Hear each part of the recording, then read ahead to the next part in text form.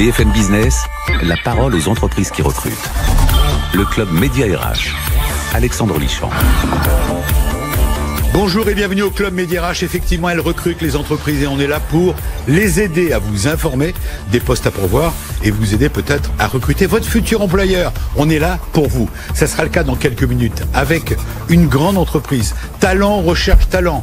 Talent Group TALN recherche des talents en 2020. 56 postes pourvus pendant le Covid, ça c'est formidable. Au total, 600 postes à pourvoir. Cette entreprise ESN qui accompagne la transformation digitale est en train de faire un carton et elle a prévu de recruter 600 personnes cette année. Des postes à pourvoir, il y en a partout en France, dans les grandes et petites. Voilà un exemple. En première partie, on sera ravi de recevoir notre interview, notre, euh, pour notre décryptage RH, Monsieur Bernard cohen président de la CPME Paris-Île-de-France. Le thème Covid suite, quid du plan pour soutenir l'emploi des jeunes ou comment éviter une génération sacrifiée. On en parle souvent dans cette émission. On va en savoir plus dans quelques minutes. Dans la seconde partie, vous le savez, on terminera notre émission par la start-up qui cartonne et qui recrute. Il s'agit de Unnow. Cette start-up dispose de 15 postes à pourvoir. C'est un organisme, un organisme de formation digitale, vous en saurez plus dans quelques minutes. Enfin, en deuxième partie toujours, nous sommes ravis de recevoir Joanne Gauthier, qui est dirigeant de Toguna. C'est un, un opérateur de concertation à grande échelle, vous allez savoir ce que ça signifie. Son credo, fini le management paternaliste, vive le management par le sens. Voilà, mais on commence l'émission comme on le fait traditionnellement, puisque nous sommes revenus à une émission d'une heure. On commence avec Marie Valogne, les News RH. C'est Marie Valogne qui s'y cogne, bien sûr. BFM Business, le club média RH, les News RH.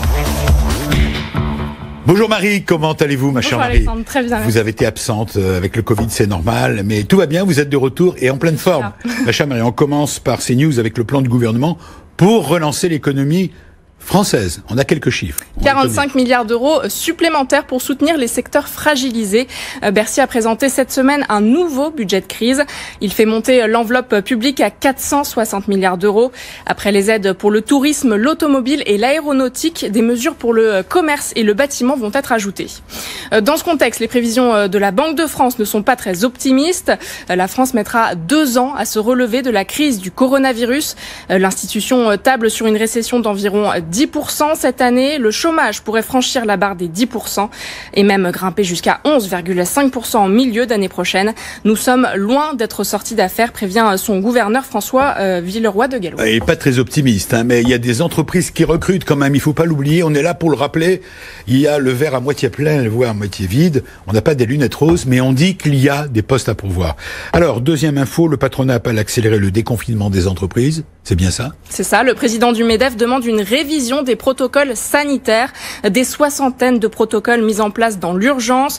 Euh, d'après euh, Geoffroy Roux Bézieux, il génère des surcoûts de 10 à 15 pour les entreprises. Il appelle le gouvernement à alléger ces mesures. Il est temps de retourner travailler euh, tout en respectant bien sûr les gestes barrières, affirme-t-il. Et on termine ces news avec notre votre traditionnel Save the Date. L'idée c'est de vous proposer des rendez-vous quelque part en France, des rendez-vous qui ont un rapport avec l'emploi, l'agenda des salons pour l'emploi.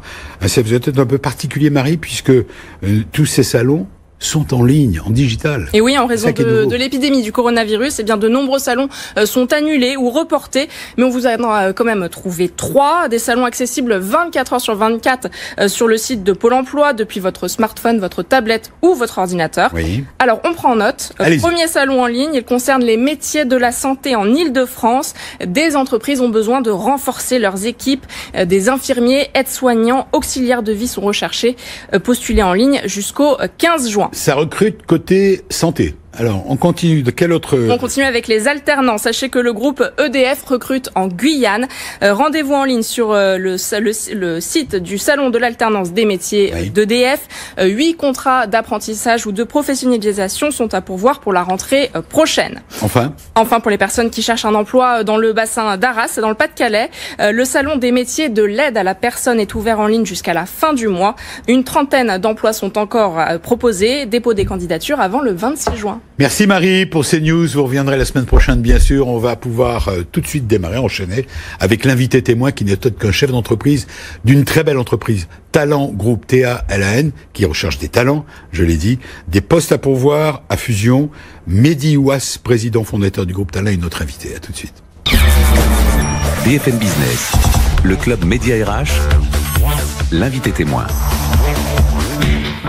Créé en 2002, euh, Talent Group emploie 2500 collaborateurs pour 258 millions d'euros de chiffre d'affaires l'an dernier.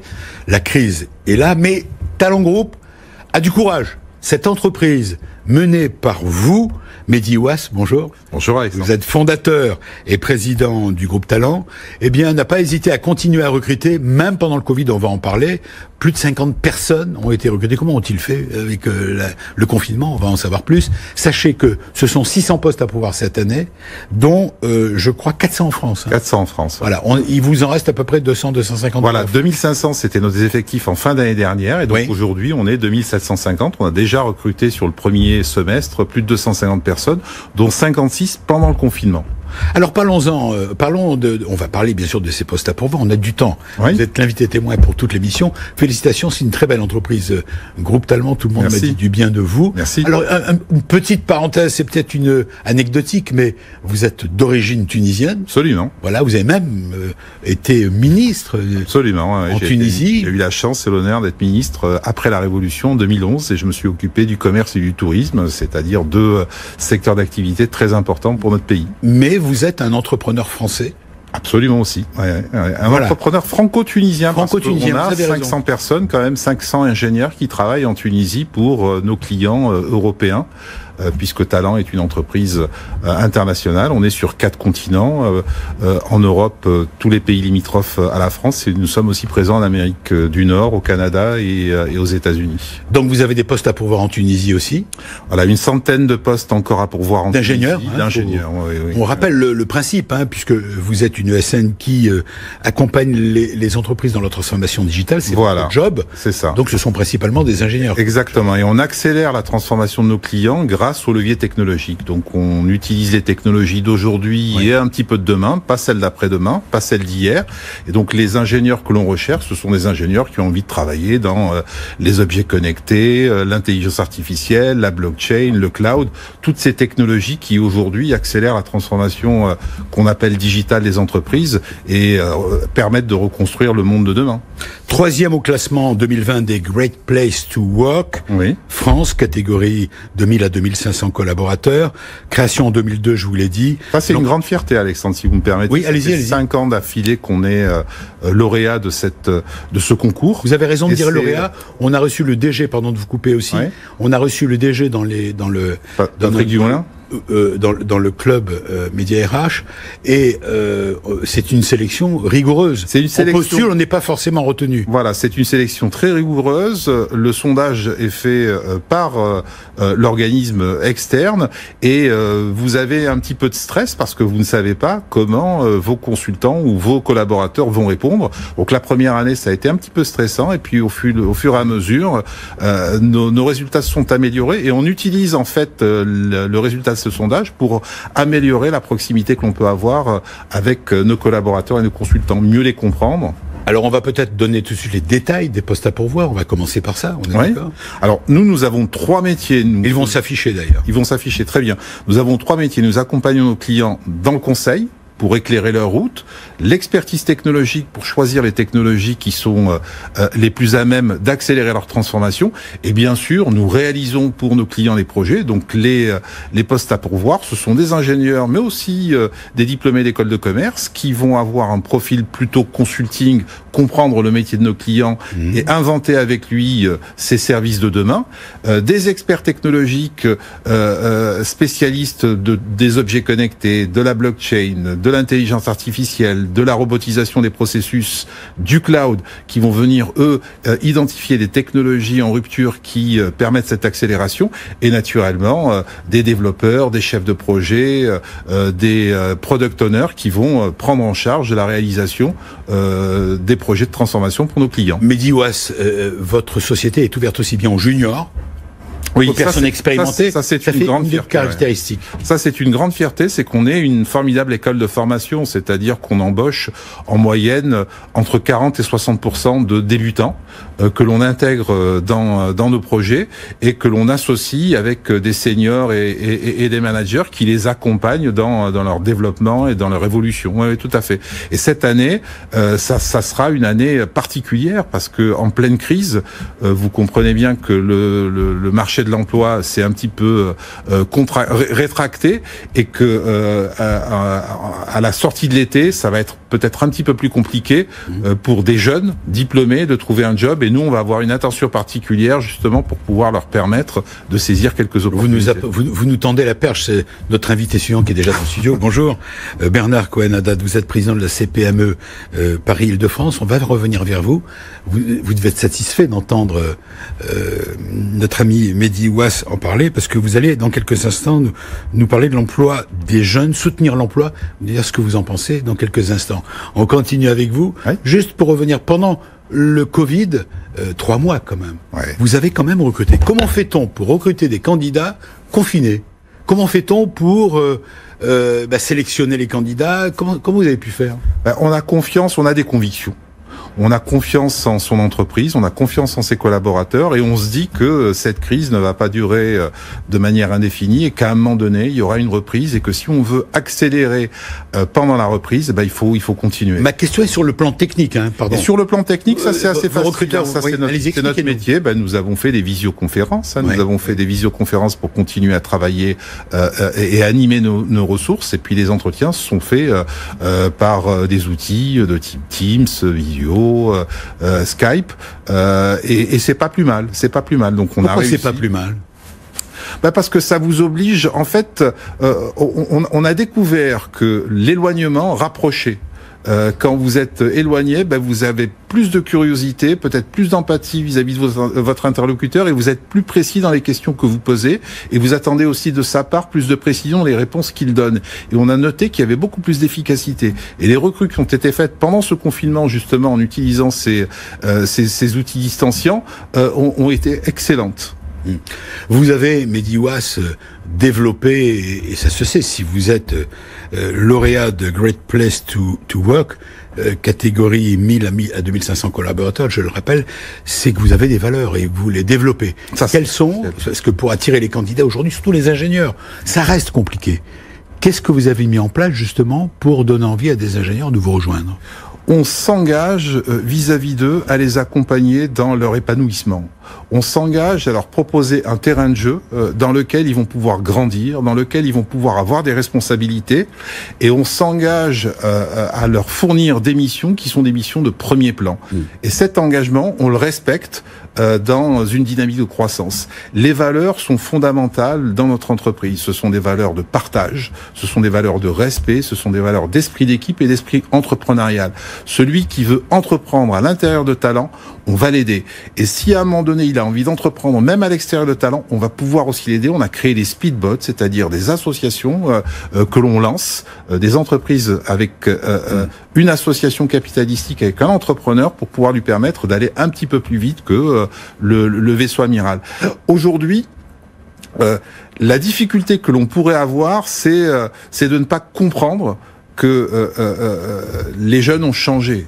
quand on prend la crise du Covid, nous, on est un petit peu plus âgés des crises on en a connues. On a connu l'éclatement de la bulle Internet 2008. en 2001. En 2008, les subprimes. La moyenne d'âge de talent, c'est 32 ans. Ça veut dire moins de 10 ans d'expérience. Ça veut dire que en moyenne, nos consultants n'ont jamais connu de crise. Ils ont toujours vécu dans un monde de bisounours, mm, mm. avec de la croissance, avec des beaux projets et avec des rémunérations qui allaient euh, en, augmentant. Donc, euh, il y a deux phrases, il y a deux petites phrases que qu'on a retenues, que j'ai retenues euh, de la crise de 2008. On disait à l'époque, on pensait que les arbres allaient toucher le ciel. Oui, Et on s'est trompé. Il y a une autre phrase de Winston Churchill, j'adore Winston Churchill, à chaque fois j'essaie de classer. J'adore aussi. Winston Churchill disait que la, le succès, c'est une série d'échecs, mais que l'on prend avec bonne humeur. Enfin, je traduis, c'est à peu près traduit. Hein, c'est une série d'échecs où l'on on, rebondit parce qu'on a en soi la, la, conviction. Absolument. Je vais vous répondre avec Winston Churchill qui disait que le pessimiste, c'est celui qui voit un obstacle euh, dans chaque opportunité et l'optimiste, c'est celui qui voit une opportunité euh, sous chaque obstacle. Donc, bah, on est d'accord. Euh, C'était un grand homme optimiste. un grand homme sage et c'est grâce à cette sagesse qu'il a réussi à monter le D-Day. Voilà, on lui doit beaucoup. Hein. Il sait bien de rappeler sa mémoire. Prix Nobel de littérature avant d'avoir été en plus, Premier ministre. En plus, vous avez raison, c'était un grand bonhomme. Il en faudrait beaucoup des comme ça partout, aussi dans le monde. Une culture ouverte.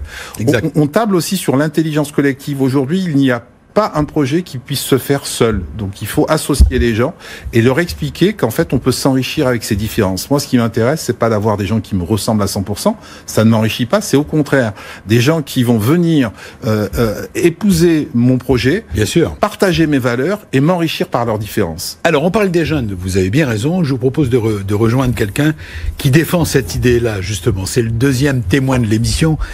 Il s'agit donc euh, Covid, d'une rubrique qu'on pourrait appeler Covid suite, euh, une place pour un plan pardon pour soutenir l'emploi des jeunes, c'est ce que le gouvernement a prévu. Comment éviter une génération sacrifiée? On en parle nous très souvent.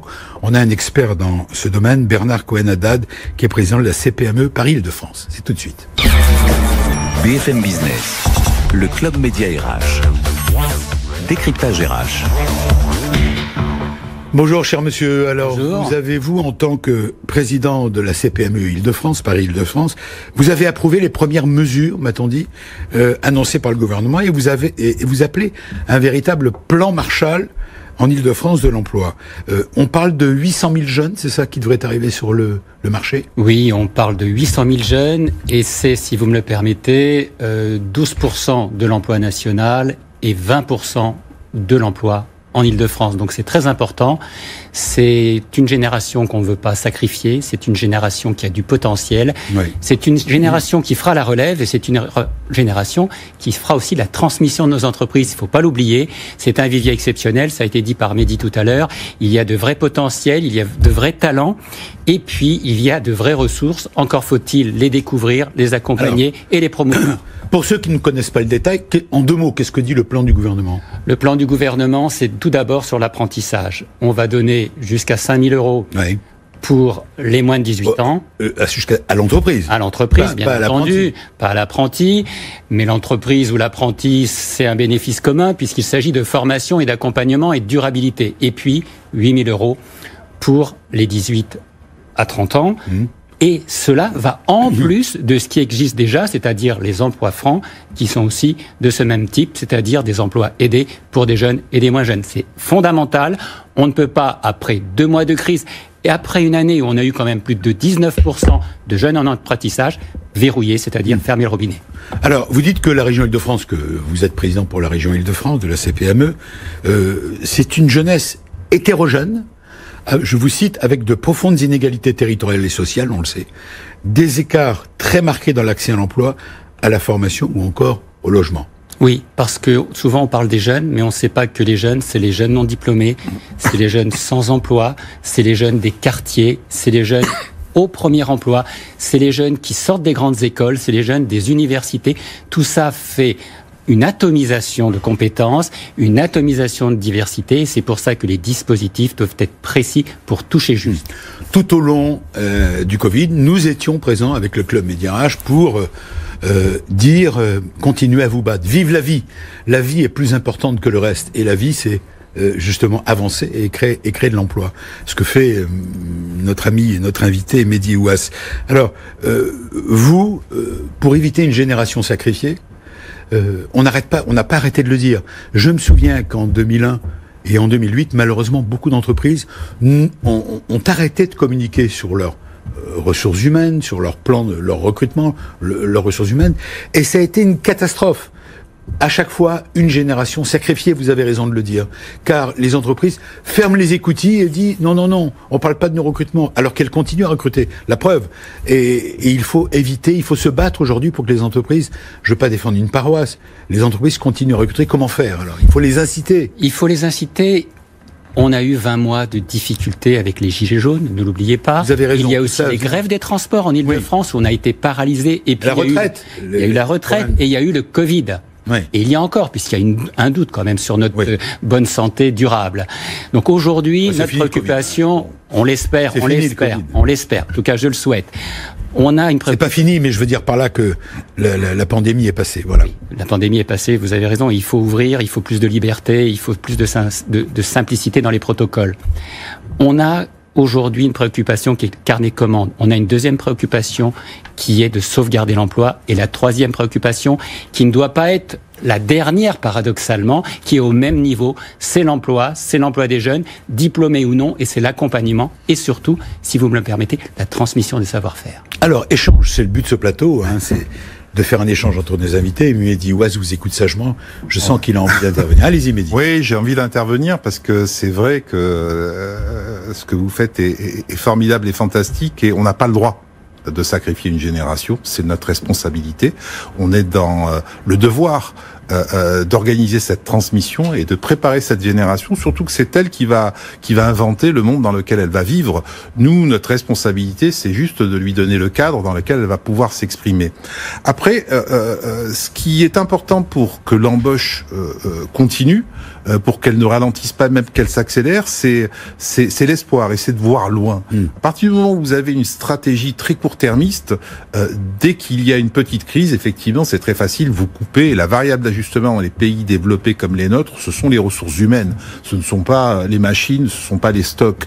À partir du moment où vous sortez euh, de, de, de, de, cette euh, euh, volonté de ne regarder que le court terme et que vous, vous, construisez une nouvelle trajectoire avec une ambition qui est toujours haute, vous allez trouver des, des, des, des routes différentes. Nous, on avait un plan euh, euh, à, 5 ans euh, que l'on a proposé à, l'ensemble de nos collaborateurs à fin 2019. Ce plan de 5 ans, il nous permet de passer la barre des 500 millions d'euros, donc de doubler sur les trois prochaines années, de passer la barre du milliard, c'est ce qu'on espère, à 2026. Ce plan-là, on l'a revu avec eux, on a gardé la même cible. C'est la trajectoire qui est différente. Donc on va tirer des bords de manière différente, mais on a voulu garder cette même ambition en disant non.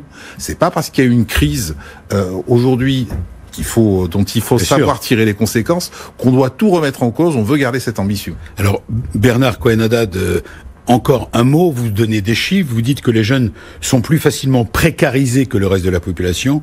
Ils peinent à s'insérer dans l'emploi. Ils vivaient déjà sous le seuil de pauvreté pour 20% d'entre eux avant la crise. Oui, et notre crainte, c'est justement d'accroître cette euh, fracture.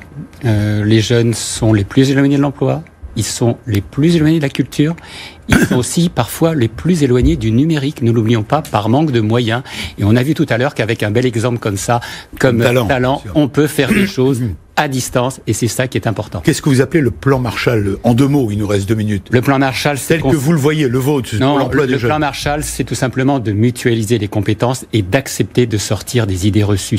C'est-à-dire concrètement, soyons concrets. C'est-à-dire qu'on se réunisse autour d'une table privilégier le dialogue et surtout mettre des moyens. La région Île-de-France a joué un rôle exceptionnel dans le financement des entreprises. Elle doit aujourd'hui aller plus loin pour accompagner les jeunes dans cette préoccupation qui est l'emploi, mais aussi tout simplement l'apprentissage. L'apprentissage, l'alternance. important. L'alternance aussi, ne l'oublions pas, cette valeur de l'alternance qui est la transmission et l'accompagnement et le lien sociétal.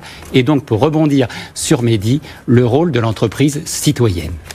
L'alternance, l'apprentissage, c'est un mot que vous je pense que Bernard a tout à fait raison. Oui, ça, ça résonne. Hein. Cette crise, elle a mis euh, euh, en exergue euh, la fracture sociale et, et, le numérique peut être une solution justement pour aider cette nouvelle génération, cette, ces jeunes à, à, à, inventer, à trouver des nouveaux métiers. Et ça, c'est important. Il faut vraiment créer ce monde, inventer les nouveaux services et les nouveaux produits avec eux et non pas uniquement pour Vous vous souvenez, au début de ce siècle, on est en 2020, au début de ce siècle, on disait le numérique, le digital va tuer l'emploi. Est-ce que on s'est trompé? On s'est trompé. Ceux qui ont dit ça. Le digital n'est pas l'ennemi de l'humain, il est une façon de penser différemment l'humain. 30 secondes, mais dit Le digital doit être au service de l'humain. Et effectivement, si on utilise le digital uniquement pour remplacer l'humain, on se trompe et on a raison d'avoir peur. Si par contre on considère que ce digital ou ce numérique va nous faire voir les choses de manière différente, va nous sortir de nos zones de confort, nous faire changer de paradigme et créer des espaces différents, nouveaux, là on va avoir un digital qui va être inclusif et non pas exclusif. Merci à vous, Bernard Cohen-Haddad, d'avoir eu la gentillesse de venir nous exposer votre plan Marshall, enfin votre idée de plan Marshall. Euh, on peut vous joindre sur un site? Il y a un site? Le site de la CPME Paris-Île-de-France, tout simplement. Euh, il suffit de taper sur le web. Merci, bonne chance. Merci, bonne journée. On continue l'émission avec d'autres invités. C'est tout de suite le club Média RH. BFM Business, le club Média RH, la parole aux entreprises qui recrutent. BFM Business, la parole aux entreprises qui recrutent. Le club Média RH, Alexandre Lichamp. Le club Média RH seconde partie, vous le savez, on est là pour vous aider à recruter votre futur employeur. Je rappelle que Mehdi Ouas, le président fondateur de Talent Group, T-A-L-A-N, Talent Group qui cherche de nouveaux talents, 600 postes à pourvoir cette année. il a même euh, recruté déjà plus de 50 personnes pendant le Covid. Il va continuer. C'est une entreprise, une ESN qui accompagne le, la transformation digitale.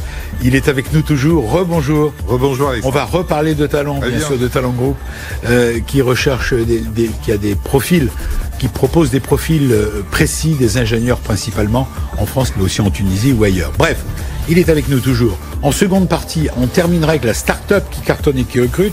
Il s'agit de Yannick Petit, fondateur et CEO. Bonjour. Il est déjà dans le studio. De YouKnow. À chaque fois, je me trompe, c'est YouKnow. Ça s'écrit U-N-O-Y, U-N-O-W. Et ça se prononce YouKnow. Parfait. Voilà. Là, vous, vous êtes un organisme de formation digitale, euh, spécialiste des, des small, private, online, euh, je sais plus quoi. Courses, exactement. C'est des formations en ligne. C'est une boîte anglaise, c'est une boîte française. C'est une boîte française. Et pourquoi vous parlez en anglais alors Parce qu'on forme aussi en anglais. Ah d'accord. Ah, c'est le langage de la techno. Il lance une nouvelle formation, savoir négocier au quotidien. Et notre ami dispose de 15 postes à pourvoir dans une start-up. Ce sera tout à l'heure pour préparer vos crayons et vos papiers pour pouvoir tout noter. Et dans quelques instants, on va recevoir notre invité euh, qui est en ligne. Il est en visio, comme on dit notre jargon. C'est pour la rubrique Solutions RH. Johan Gauthier, dirigeant de Toguna. C'est tout de suite. BFM Business, le club média RH. Solution RH. Bonjour Johan Gauthier, merci d'être avec nous. Bonjour Alexandre. Alors vous, vous êtes à Nantes, hein, c'est ça, non? Si je me trompe Non, je suis sur Paris. Vous êtes à Paris, mais vous ne pouvez pas, vous n'êtes pas en studio euh, parce que tout simplement, on n'a pas assez de place, toujours pas. On peut pas avoir tous les invités autour de nous, mais c'est très bien la visio. On vous voit parfaitement. Vive la technologie et la, le digital, comme dirait notre ami euh, Mehdi qui est toujours avec nous. Alors vous, Johan Gauthier, vous êtes dirigeant de Toguna. Ça a un sens, Toguna, ça veut dire? Ça veut dire quelque chose Toguna, oui, oui, ça a un sens. Euh, sur les hauteurs du Mali, euh, il y a des tribus qui vivent là, ce sont les Dogons, et ils ont une case à Palabre, au milieu du village, dans laquelle ils décident ah, l'avenir désirable du village. Voilà, c'est une Toguna. Une Togoda. Rien à voir avec le tableau qui est derrière vous.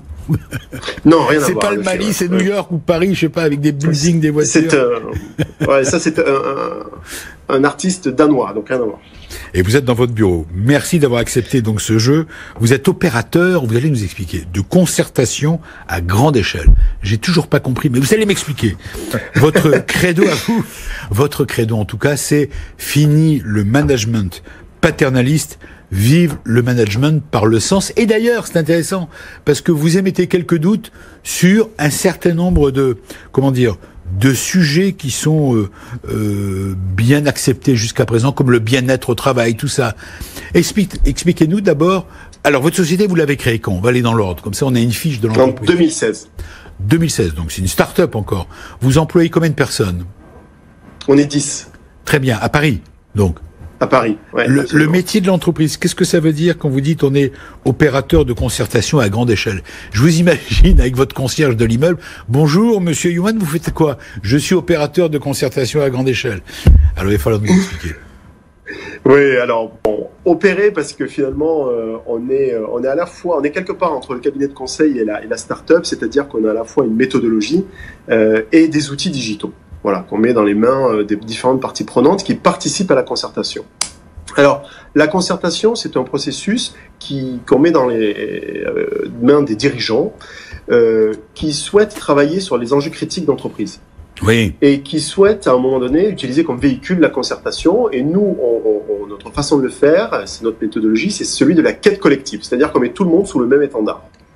Alors, par le vous dialogue, dites, par la vous- concertation. Vous dites, euh, notre savoir-faire, c'est transformer le management traditionnel du storytelling en management story making. On oui, c'est toujours ça, exactement. bon, mais on n'a pas Alors- toujours, on n'a toujours pas le détail. Mais alors, c'est quoi le story making? Moi, je vais jusqu'au bout. C'est-à-dire quoi? C'est une histoire euh, sous l'étendard de la raison d'être? Expliquez-nous encore. Oui, alors c'est vrai que les enjeux critiques que l'on traite sont très souvent liés à la raison d'être. Donnez-moi un, exemple concret. À la marque employeur. Euh, Donnez-moi un exemple concret. prenez- Bon, notre fait d'armes la- l'année dernière, c'est d'avoir travaillé avec le groupe Orange, qui euh, souhaitait travailler sa raison d'être et qui s'est dit il est hors de question qu'on fasse du storytelling descendant, c'est-à-dire que c'est un petit groupe de personnes en haut qui vont trouver l'histoire. euh, l'histoire, là on est sur la raison d'être, ou ça peut être la vision, le projet d'entreprise. Oui. C'est à nous tous, c'est avec l'ensemble des salariés qu'on veut co-construire cette histoire. Et à partir du moment où on co-construit l'histoire, on fait ce qu'on appelle ce story making, qui a plusieurs euh, évidemment euh, bénéfices. Et le principal étant d'être mobilisant auprès de chacun de ceux qui y participent. Alors en fait, vous dites c'est une prise de conscience collective, collecter les perceptions latentes, hein, je lis votre votre argumentaire, asseoir la légitimité d'une décision fondée sur le collectif, c'est ça l'idée, et enfin activer toutes les parties prenantes. En fait, c'est mobiliser, transformer, en faisant en sorte que tout le monde soit dans la vague. C'est ça? J'ai traduit à peu près? C'est exactement ça. Nous, notre conviction, c'est que finalement, euh, le management de demain, c'est un management par le sens. Et c'est encore plus vrai avec la crise. Euh, aujourd'hui, vous avez beaucoup de personnes qui sont qui travaillent comme moi aujourd'hui euh, de, de, de chez eux. Oui. Le contact avec euh, l'entreprise est plus distant. L'unité de lieu de l'entreprise existe moins, si toutefois on poursuit dans cette voie. Euh, et donc, du coup, il va falloir euh, avoir un management qui est beaucoup plus basé effectivement sur le sens et le dialogue. Et le sens et le dialogue, dites-vous, c'est répondre aux quatre piliers de la quête avec un, un Q majuscule, éthique, tangible, crédible, inclusif. C'est exactement ça. Il, faut que ça soit épique. Il, il faut que, que ça réponde à une ambition où quand chacun participe, chacun se dit bah, c'est pour un, pour un monde meilleur ou pour une organisation qui est, qui est meilleure. Et nous, on fait participer à la fois les collaborateurs, mais aussi les investisseurs, les fournisseurs, les clients, etc., l'ensemble des parties prenantes. Alors, ce qui est, Il faut que ça soit tangible. ce qui est Euh, intéressant, tangible, ce qui est intéressant Pardon, avec vous, pardon de vous couper la parole, c'est que Je par ailleurs, vous avancez euh, que euh, vous vous adressez aux DRH et aux managers. Euh, rassurez mon emploi, est-il à risque Mes projets, ce sont des, autant de questions que vous posez. Que voulons-nous collectivement en garder? J'aimerais faire réagir, puisqu'on a la chance d'avoir un, un président fondateur d'un grand groupe, c'est Talent Group. Qu'est-ce que vous en pensez de cette approche? Ah ben moi ça me parle. On a déjà euh, collaboré ensemble. Ah, vous connaissez. Vous bien connaissez sûr, notre bien sûr, bien sûr, bien sûr. Bien sûr qu'on se connaît. Euh, euh, on, on a déjà collaboré et, et- et je pense qu'aujourd'hui la génération X, Y, Z qu'on emploie Oui. est une génération qui cherche pas un job. C'est une génération qui est éduquée et qui d'abord veut un sens, veut donner un sens à sa vie. Et elle demande à l'entreprise de lui donner ce sens. Et donc la raison d'être, c'est pas un phénomène de mode. C'est des vraies questions qu'on doit se poser. On doit se dire aujourd'hui mon entreprise, euh, quelle est sa raison d'être, c'est-à-dire quel sens elle donne à ce qu'elle fait, euh, en quoi elle est en train de collaborer ou de participer à la construction d'un monde meilleur, et comment euh, elle agit avec éthique. Et, et, et, et quand on passe de la storytelling, c'est-à-dire euh, l'histoire que raconte le patron d'entreprise en disant les petits, je vais vous dire où est-ce qu'on va aller et je vais vous raconter l'histoire. Au making story, ça veut dire quoi? Ça veut dire non, vous allez devenir acteur de cette histoire et cette histoire, vous allez la, y participer, vous allez la construire euh, et vous allez y apporter votre regard aussi. Et ça, ça change fondamentalement la façon dont les entreprises évoluent et se transforment. Encore une question vers vous, Johan. Euh, pourquoi dites-vous que euh, quelque part euh, ce n'est plus le management paternaliste, Mhm. voire même quelque part vous vous dites fini le bien-être au travail? C'est bien ça? J'ai bien compris? Non, mais Non, le ça, c'est un concept peu- de bien-être au travail. Ouais. Quoi. Vous êtes, Non, vous dites que demain il faut balayer un certain nombre de choses. Donc ça veut dire que tout ce sur quoi Allez-y, oui. Pardon, un management paternaliste, c'est- finalement un management euh, qui consiste à dire euh, je t'indique les tâches que je veux que tu réalises, en contrepartie de quoi je m'occupe de ton bien-être. Euh, c'est d'ailleurs ce que je fais. Moi, j'ai un fils euh, qui est préadolescent. C'est à peu près ce que je fais avec lui. C'est-à-dire tu fais tes devoirs et à la fin, tu auras le droit de, de jouer à Fortnite. on pense qu'il y a euh, l'étape d'après qui consiste à effectivement piloter par le sens, c'est-à-dire faire appel à la reconnaissance fondamentale des individus, de leurs pensées, de leurs convictions, plus que de la reconnaissance transactionnelle. Euh, tu, tu, auras des, des euh, tu auras du bien-être à la fin. D'ailleurs, c'est toujours compliqué de penser bien-être pour les autres, je crois. voilà.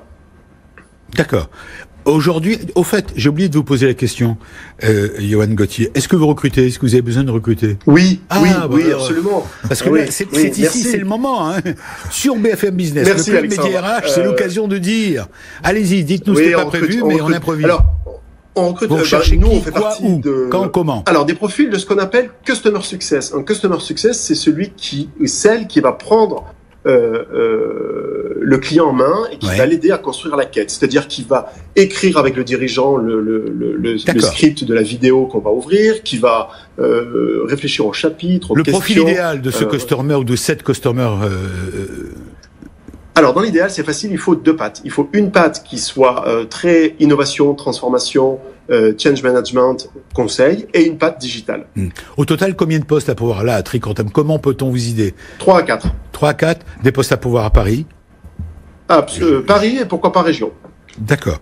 Et vous avez les moyens de votre ambition. C'est souvent, je pose souvent la question. Oui, Vous avez les moyens. Oui, absolument. On a eu une belle croissance en toute l'année dernière et on continue d'avoir une belle croissance cette année. On a la particularité de se développer euh, par nous-mêmes. On n'a pas fait appel euh, à l'investissement.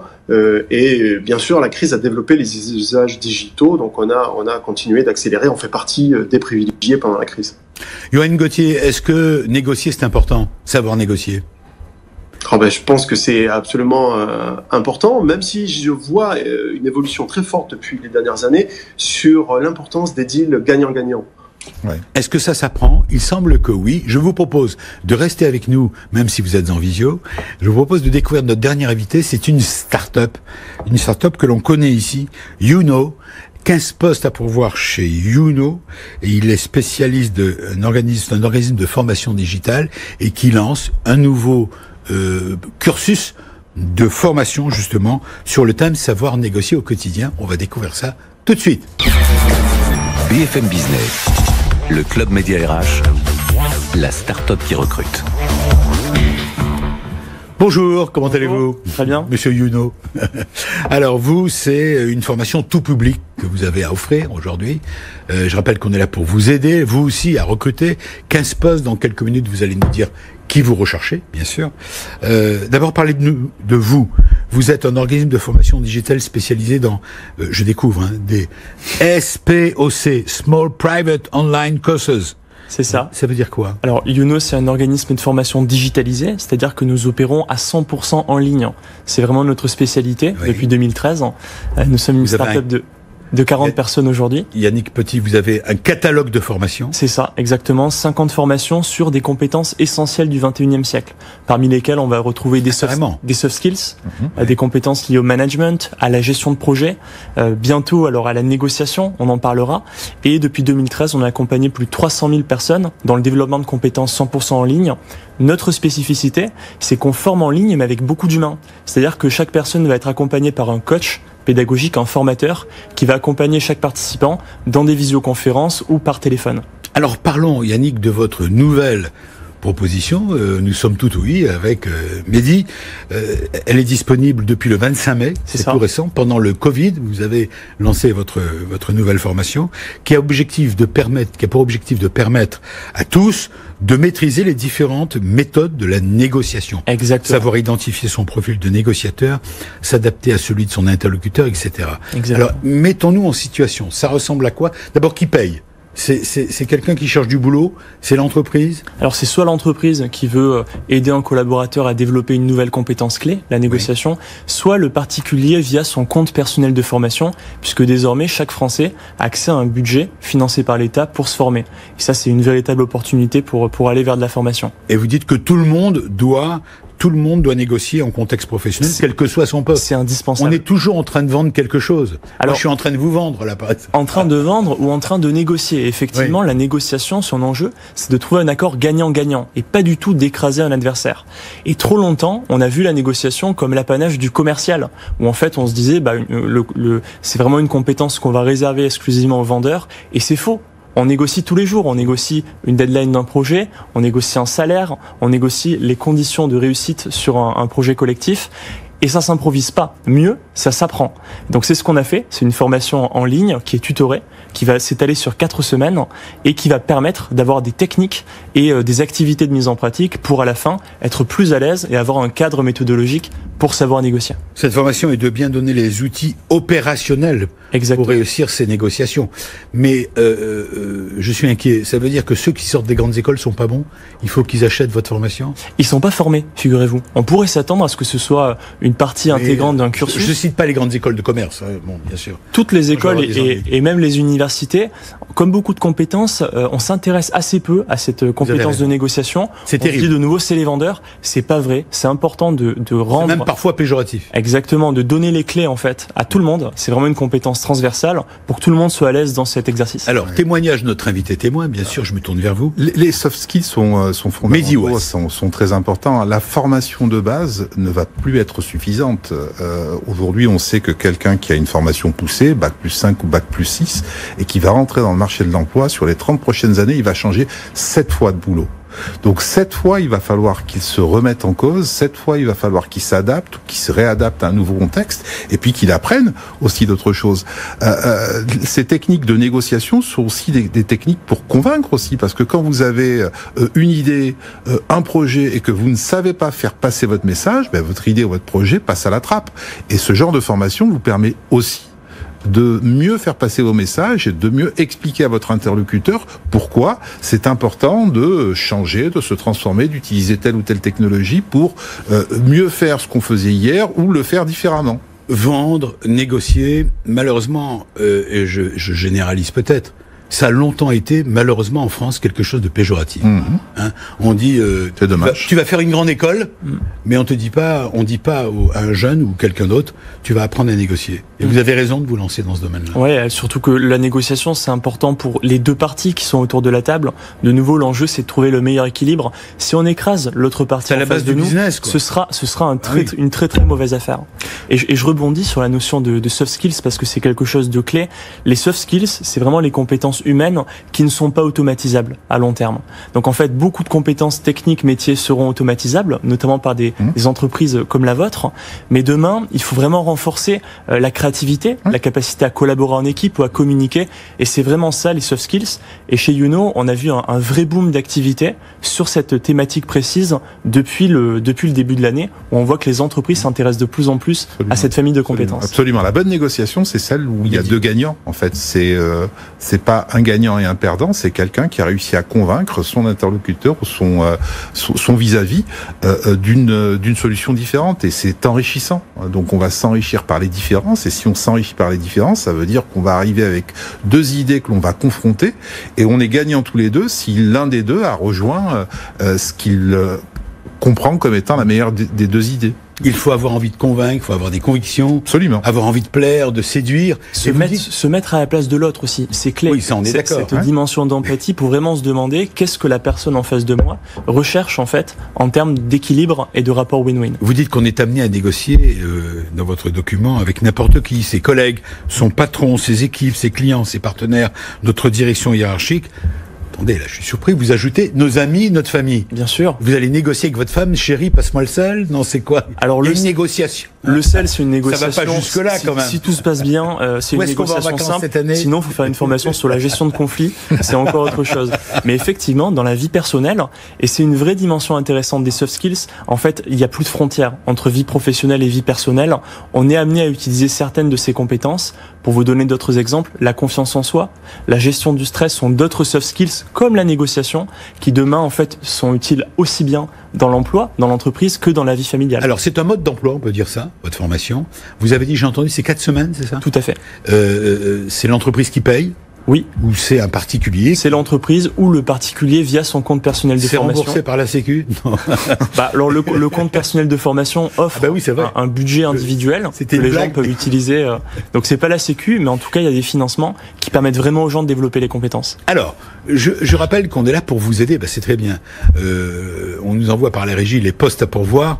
Aussi en même temps, euh, la formation est demandée pendant le confinement. Ah oui, ça c'est les formations les plus demandées pendant le confinement c'est bien ça C'est ça, c'est nos, nos, cinq formations sur lesquelles on a eu le plus de demandes pendant le, le, confinement. On retrouve beaucoup de soft skills et confiance en soi qui est la formation la plus demandée, et également euh, des compétences qui portent plus sur l'organisation du travail et du travail à distance. Qui est en train de se généraliser à vitesse grand V. Et les, euh, les compétences spécifiques de gestion de projet agile, on a vu une, une explosion des besoins parce que beaucoup d'entreprises l'utilisent dans leur nouveau rapport au digital. You know. Alors, allons-y sur la, euh, comme on le fait à chaque fois, quand même, une petite fiche sur les postes à pourvoir. Immédiatement, des postes à pourvoir immédiatement. À Paris? C'est ça, à Paris, 15 postes à pourvoir. Alors à Paris s'agit-il? et à Lyon, parce qu'on est basé dans les dans les deux villes. Et on recherche euh, plusieurs métiers, d'abord des développeurs qui vont permettre d'améliorer notre plateforme technologique de formation, ensuite des ingénieurs pédagogiques qui eux vont créer les formations et ajouter de nouvelles compétences essentielles. Et enfin des commerciaux pour aller trouver de nouveaux clients, en particulier des clients grands comptes. Hmm. Et là depuis trois mois, on a on a vraiment une forte croissance parce que euh, a plus de 300 100% de croissance sur le nombre d'inscrits dans les formations Youno euh, depuis le début de l'année. Et donc, on a besoin de, renforts, de talents justement, qui vont nous aider à, à, atteindre nos ambitions et à aider toujours mieux les entreprises à développer leurs collaborateurs. Alors, vous le savez qu'ici, on pose, on joue cash. Hein. On veut savoir ce que vous avez à leur offrir, mais préalablement, je pose toujours la même question. Avez-vous les moyens de votre ambition, embaucher de nouveaux collaborateurs, ça veut dire un investissement. Mm. Euh, vous avez des sous? Alors oui, on a. Vous avez on, a les moyens de notre ambition parce qu'actuellement on est vraiment en forte croissance. Puis on avait levé des fonds auparavant. Vous aviez levé combien d'argent et quand? On a levé 3 millions d'euros euh, il y a deux ans, ce qui nous permet vraiment de d'avoir. Il n'y a plus rien. Ah si si, rassurez-vous. Et en fait, ça permet de pouvoir vraiment euh, développer une plateforme de formation, un catalogue très riche pour former. Et ce qu'on a à offrir, c'est d'abord du sens. On en parlait juste avant avec euh, l'invité précédent. Ce que veulent les nouveaux collaborateurs aujourd'hui, c'est vraiment se dire je fais un, un job qui est utile. Nous le nôtre, c'est d'accompagner les gens dans le développement de leurs compétences pour rester employables. Et dans le, dans le contexte actuel et dans la crise actuelle, c'est vraiment fondamental de laisser personne au bord de la route, de les aider à développer des compétences pour préparer la relance, pour changer d'emploi. On le sait, effectivement, il y a une mobilité très forte. Et donc nous, ce qu'on a vraiment à offrir, c'est une ambition une mission qui a du sens. Vous avez anticipé la question suivante, qu'est-ce que vous avez à leur offrir? Voilà, vous avez expliqué ce que vous avez à offrir à vos futurs candidats. Donc une quinzaine de postes à pourvoir, c'est ça. ça. Vous avez les moyens de l'embauche, vous avez un vrai projet à leur proposer, votre entreprise, vous donnez pas votre chiffre d'affaires, comme toutes les startups, j'imagine? Si, on fait, 5 millions de chiffres d'affaires. Cette année? Enfin, en 2019 Cette année, non. En, en 2020 Exactement. Donc croissance par rapport à 2019, j'imagine. Ouais, croissance de plus de 50% par rapport à l'an dernier, ce qui est vraiment pour nous un, boom d'activité et ce qui va nous permettre effectivement de renforcer le produit et continuer le, développement. Bravo. Vous restez avec nous, il nous reste encore deux minutes. Mehdi, euh, vous êtes euh, vous êtes à l'écoute, vous même, je rappelle quand même pour ceux qui nous rejoignent, que Talent, c'est un groupe créé en 2002 qui a connu une croissance énorme, fantastique, une très belle réussite, que vous avez 600 postes à pourvoir cette année, vous en avez recruté presque la moitié, vous continuez à rechercher 250 personnes. Combien de postes à pourvoir en Tunisie? On a évoqué la Tunisie. Une centaine, une centaine. On, on peut postuler en France pour la Tunisie? On peut, on peut. Ça nous est arrivé, oui, bien sûr, bien sûr, ça nous est arrivé d'avoir euh, des Français qui avaient envie euh, euh, de vivre une, une expérience à l'international et qui sont partis en Tunisie. Alors, le choix que l'on a fait, nous, c'est que quand on a créé la filiale tunisienne, qui est notre Nearshore, on y a abrité le miroir des compétences européennes, c'est-à-dire que c'est le même niveau de compétences, le même niveau d'exigence, ce qui veut dire que euh, un, un, collaborateur basé en France qui irait en Tunisie ne régresserait pas. Il non, mais même il, aurait le même salaire qu'en France. Est-ce qu'on peut euh, dire ça? Ça, euh, non, la politique salariale, elle, est, ah, elle, est, particulière. La, la, Tunisie a un niveau de vie euh, différent, mais bon, il aurait euh, une, oui, bien sûr, j'imagine qui serait équivalent. Hein, oui, j'imagine. Mais c'est génial parce que c'est au bord de la mer, non Mais absolument, absolument. Mais la Tunis est au bord de l'eau. Tunis est au bord de l'eau, et puis c'est un pays que vous connaissez, qui est fantastique, dans lequel il fait bon vivre, même si de temps en temps c'est un petit peu plus compliqué. Mais, mais c'est un pays qui aujourd'hui attire énormément, c'est vrai. Aussi oui, bien oui, les touristes que les, gens qui veulent. Et, c'est une veulent essayer de se développer. Vous avez créé. Ouais, c'est justement cette. Voilà, c'est une plateforme relais de croissance euh, vers vers l'Afrique subsaharienne. C'est ça l'objectif que l'on avait en, en créant euh, euh, cette entité en Tunisie. Alors, on résume. Si vous avez des postes à pourvoir, je le répète et on le fera jusqu'à la fin. Nous, dans cette émission, on est là pour vous aider, vous qui nous écoutez sur BFM Radio, BFM Business TV également. Euh, n'hésitez pas à aller sur notre site mediarage.com, vous allez pouvoir en savoir plus. Vous pouvez revoir l'émission, bien sûr, sur le podcast. Vous avez bien entendu des postes à pourvoir chez vous, Mehdi euh, Ouas, euh, président, donc fondateur du groupe Talent. Vous avez entendu notre ami, la start-up qui dispose de 15 postes, You Know, ça s'écrit U-N euh, non, je me trompe encore. Ou si, U-N-O-W, vous trouvez facilement. Il y, a un, il y a un lien direct pour postuler www.uno.fr. Voilà, il y a une page où on peut postuler. Je n'oublie pas, il est encore en ligne avec nous, notre invité euh, Visio. C'est la fin de l'émission, je le remercie également. Johan Gauthier, merci Monsieur Gauthier. Et vous êtes, euh, vous, avec plaisir, merci vous beaucoup. Avez suivi, je vous ai pas relancé, mais vous avez écouté avec beaucoup d'intérêt. Vous êtes dirigeant de Toguna, c'est quelque part au Mali. Là aussi, toguna.fr, j'imagine, ou .com. On peut en savoir plus. .io. .io. Très bien. Bonne chance à tous. Bon week-end. On se retrouve le euh, week-end prochain pour d'autres offres d'emploi. Allez, bon courage. Vive la vie. On va gagner. BFM Business. Le club Média RH. La parole aux entreprises qui recrutent.